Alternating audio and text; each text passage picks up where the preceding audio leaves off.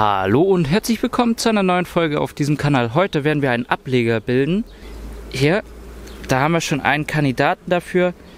Hier haben wir eine schöne Weißelzelle, schon fast am Verdeckeln. Und ja, ein zweiter. Oh, so, wenn wir eins weiter gucken, haben wir nicht nur eine Weißelzelle, sondern hier haben wir gleich zwei, drei, vier, fünf, sechs. Also ist das ein optimaler Kandidat jetzt.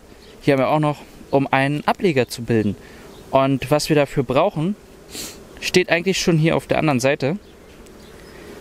So, das habe ich hier schon beiseite, äh, ja, nicht beiseite geräumt. Das habe ich hier schon hingeräumt. Wir haben hier einen Kasten. Ich räume mal schnell den Honigraum um. So, wir nehmen jetzt hier die Wabe raus. Das ist unsere Wabe mit frischer Brut und äh, mit den Weißelzellen. Die machen wir jetzt erstmal hier hin.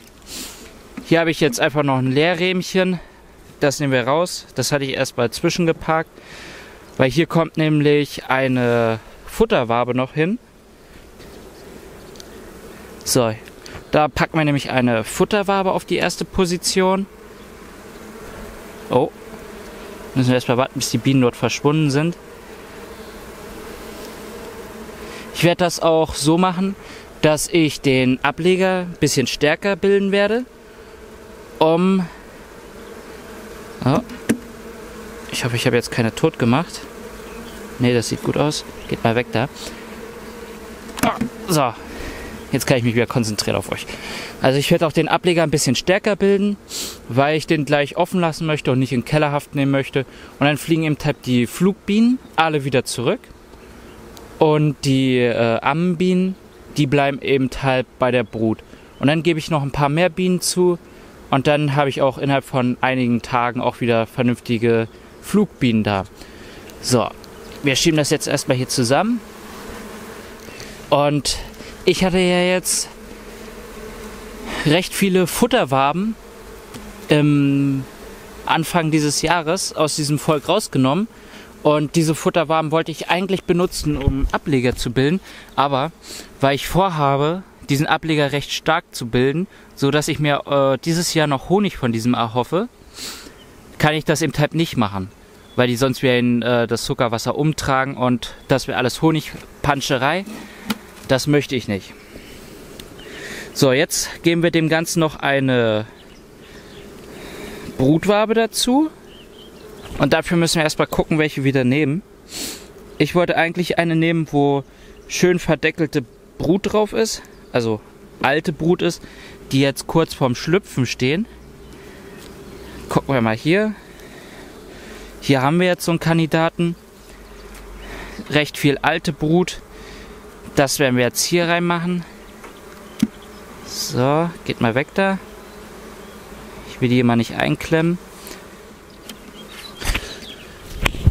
So, weil ich mir jetzt nicht sicher bin, ob ich die Königin aus Versehen hier mit reingenommen habe, gucke ich jetzt das Ganze nochmal durch. Ich hatte das eben gerade durchgeguckt. Da war sie nicht dabei. Aber sicher ist sicher. Und deswegen gucke ich das Ganze nochmal durch. So. So, jetzt haben wir eine Futterwabe hier haben wir nochmal eine Futterwabe. Hier haben wir eine Pollenwabe mit äh, Brut. Und jetzt haben wir hier drei volle Brutwaben. So. Das ist also erstmal ein recht starker Ableger. Ich habe jetzt aus jedem Volk ein bisschen was entnommen und hier äh, ja, gesammelt. So, und wenn jetzt die Königin dann schlüpft, dann haben wir hier wieder ein sehr schönes, starkes äh, Völkchen. Was ich jetzt noch machen werde, ich werde mir eine, ich habe so eine Feature-Flasche und da werde ich jetzt einmal nochmal Wasser ins Volk reinsprühen. Das, das, hat nämlich den Grund, dass die äh, Bienen, die Flugbienen ja jetzt alle verschwinden und nur noch ein Rest äh, von den Ammenbienen hier übrig bleibt und die Bru äh, Brut pflegt. Deswegen habe ich auch mehr Bienen hier reingemacht als nötig, weil eben halt viele wieder abhauen. Und damit das Volk jetzt hier nicht äh, verdurstet, kommt Wasser nochmal rein und damit die das im Teil, die brauchen ja auch das Wasser, um den Stock runterzukühlen, um also das Klima zu halten. Und dann haben sie im Teil dafür auch ihr Wasser. was ich auch noch machen werde, habe ich hier, oh, jetzt habe ich hier, so, habe ich hier schon hingepackt, einen äh, Fluglochstreifen. Ich werde nämlich jetzt das Flugloch einengen, dass das Flugloch nur noch hier an der Seite ist. Das hat auch den Grund, äh, damit so ein bisschen Räuberei verhindert wird. Ich weiß jetzt nicht, jetzt wird, äh, ist die Tracht ja recht gut. Jetzt dürfte die Räuberei nicht so groß sein, der Räubereitrieb. Aber vorsichtshalber ist das besser und vor allen Dingen auch, damit die im Stock die Temperatur auch besser ja, gehaushaltet kriegen, geregelt kriegen. So, was ich jetzt auch noch machen werde, das ist noch eine Mittelwand dazwischen packen, damit die Bienen nicht auf Langeweile kommen. Und hier haben sie noch eine Mittelwand zum Ausbauen. Das Ganze werde ich zwischen äh, Futterwabe und Brutwabe packen. So, hier haben wir die Brutwabe, also die letzte Brutwabe. Hier ist Pollen. Ja, gut. Hier sind jetzt noch ein paar äh, verdeckelte Brutzellen hier. Und ich werde das jetzt einfach mal so machen, dass ich die, oh, dass ich die hier zwischenpacke. Dann können die Bienen das nämlich ausbauen und haben dann Platz, wenn die Königin befruchtet ist, um hier Eier zu legen. Also damit die Königin Eier legen kann. So. Gut, die lasse ich jetzt auch noch drin. Und hier haben wir jetzt auch noch ganz viele Bienen. Die werde ich jetzt auch einmal reinstoßen, abstoßen. Und ja, dann werden wir wahrscheinlich morgen schon die ersten Bienen sehen, die sich dann einfliegen. Oder auf alle Fälle in den nächsten Tagen, wenn das nicht gleich morgen ist. Aber in den nächsten Tagen. So.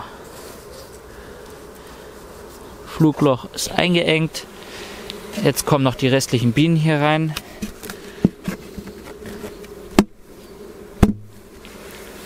So, das hat ganz gut funktioniert. Jetzt machen wir den Deckel rauf. Ja. Ja, im Prinzip ist das das auch schon gewesen. Wie gesagt, jetzt kommt hier noch mal ein bisschen Wasser rein.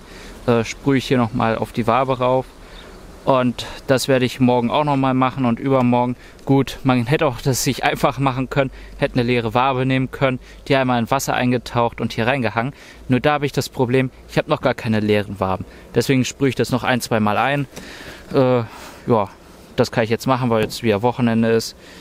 Und dann, ja, ist das wieder fertig. Wieder ein Volk äh, gegründet. Das war eigentlich eine recht gute Sache, eine schnelle Sache. Hier habe ich zwei äh, Waben rausgenommen. Aus dem anderen, in der Mitte habe ich gar nichts rausgenommen. Und aus dem da hinten habe ich auch nochmal zwei rausgenommen, also Brutwaben. Ich bedanke mich erstmal recht herzlich fürs Zuschauen. Hier könnt ihr noch zwei weitere Videos von mir schauen. Und, und wenn euch das Video gefallen hat, könnt ihr das hier gerne abonnieren, äh, den Kanal. Gut, bis zum nächsten Mal.